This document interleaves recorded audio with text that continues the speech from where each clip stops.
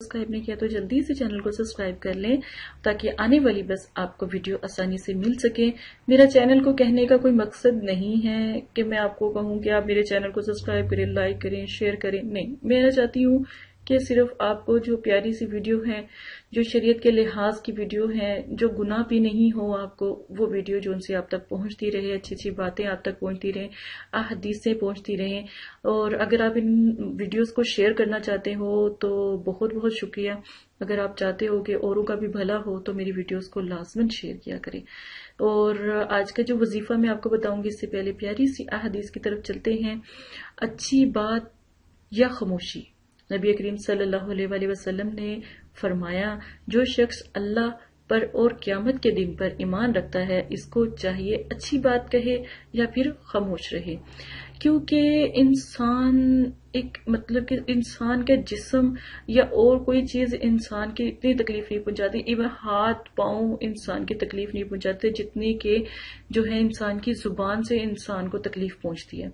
कहते हैं कि जो चीज़ें होती हैं, अगर उनको जोड़ा जाए, टूट के जुड़ भी जाती हैं, ठीक भी हो जाती हैं, थोड़ी सी खराब हो लेकिन ठीक, लेकिन ज़ुबान एक ऐसी चीज़ है, जिससे वो एक ऐसी तलवार है, या कैंची की तरह है कि अगर उससे, मैं तो कहती हूँ कि कोई लोहा भी काटोगे ना तो वो भी कट जाए, लेकिन ज़ुबान के जो फट है ना, वो कभी नहीं मिलते।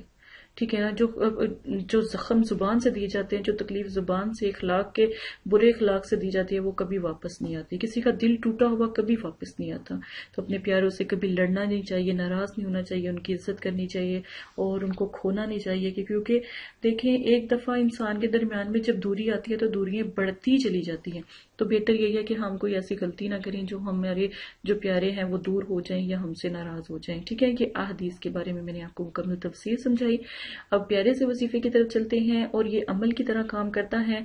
मेरे जितने भी वसाइफ हैं, मैं आपको पूरी कोशिश होती है कि अमल की तरह उनका तरीका बताऊँ जो वाज वजीफा आप किसी भी वक्त, किसी भी टाइम किसी भी तरह कर सकते हैं। लेकिन जो मैं आपको चीज़ें बताती हूँ, अमल बताती हूँ, उसका तरीका अनोखा है, अलग है। मैं ये नहीं कहती कि वो हर वक्त पढ़ो, मैं ये नहीं कहती, लेकिन उसका तरीका समझाती हूँ, जैसे मैं अमलियात का तरीका समझाती हूँ तो उसका ख्याल रखा करें।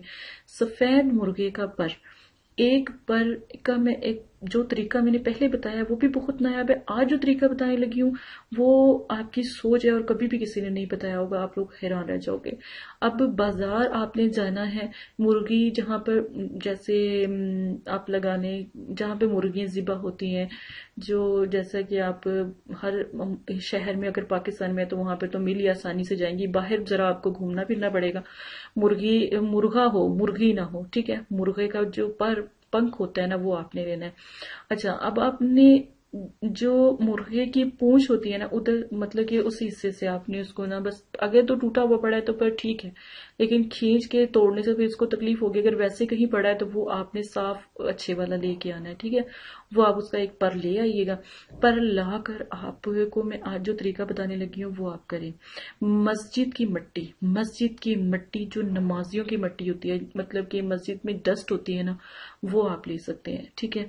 अगर वो भी नहीं आपको मिलती तो मुल्तानी मिट्टी है वो आप ले लो ठीक है?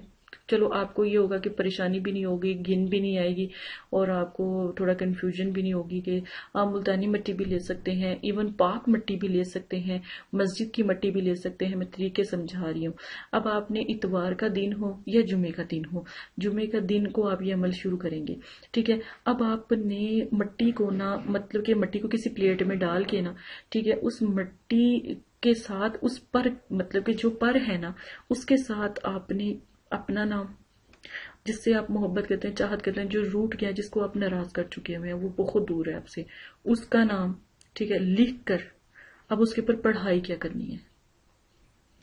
उसके ऊपर पढ़ाई आपने कम अज कम तीन हज़ार मरतबा या मुगनी, ठीक है, तीन हज़ार मरतबा या मुगनी, तीन सौ इकतालीस मरतबा बिस्मिल्लाह, ठीक है। उसके बाद सिर्फ़ तैतीस मरतबा या वदू दो ये क्वांटिटी है अव्वल आखिर द्रुशीफ के साथ। ठीक है, पढ़ के आपने उस मट्टी पे पर पे दम कर देना है, मट्टी को आपने फिर संभाल लेना है।